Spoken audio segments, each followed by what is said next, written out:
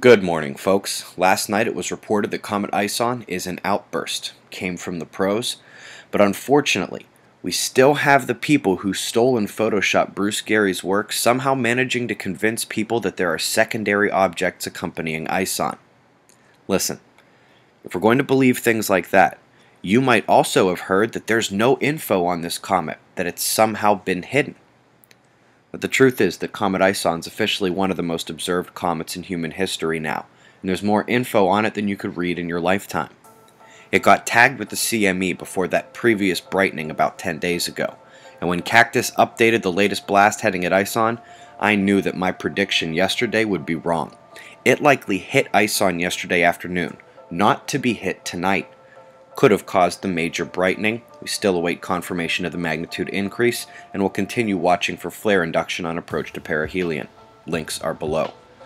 Top recommendation NOAA's Environmental Visualization Lab with a good ocean nutrient map and article in tow.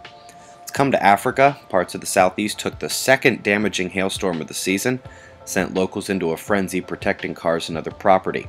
Obviously, not as bad as what's happening in the Philippines, which is still in dire straits. Region not quite out of the woods yet, could be another storm or two this year. Meanwhile, there is already development west of the Philippines and another into the Indian Ocean up in the Bay of Bengal. China, Vietnam, India, all on watch.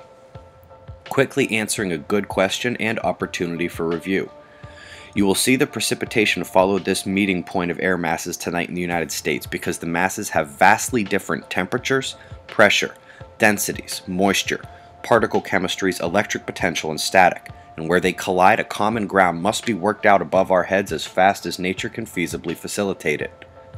Solar flaring struggling to keep the uptick alive. You see that even more when you realize the sunspots aren't exactly hiding. The leading southern group interact so, should be called 1 gamma group.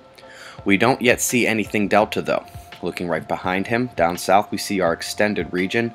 Decay has likely stripped the Zurich Class F, but we do have three potential deltas at the backside mixing point.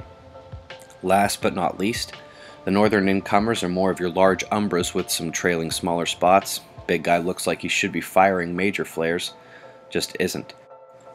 Looking at the solar wind, I see two potential interplanetary shocks from CMEs, but they're very, very minor. Interestingly, the leading shock appeared to jolt our system on the electron flux, and with the GridEx drill, I think I said oh shit when it happened loud enough for my coworkers to hear me checking space weather at the office. But it was nothing, and the KP continues to be quiet. Coronal hole power had shifted north, but that kicked back to a more serious southern focus yesterday. Some minor weakening in Earth's position may have been offset by the maintained open coronal fields, blocking as little force as possible. Unusual location rumbles continue. Couple more four pointers off the west coast. It's way too many of those last two weeks. Also took a six pointer down at the bottom of the world. This should count with the other recent Atlantic rumbles. Good closing point. NOAA's Enlil spiral has shown none of the CMEs this week, and indeed shows a leading density spike up top to a coronal hole stream that is absurd, that black arc. If that's correct data, one of the incoming coronal holes could be more relevant than all these X flares. Shots of our star to close. Eyes open. No fear. It's 6:40 a.m. Eastern Time and that's the news. Be safe everyone.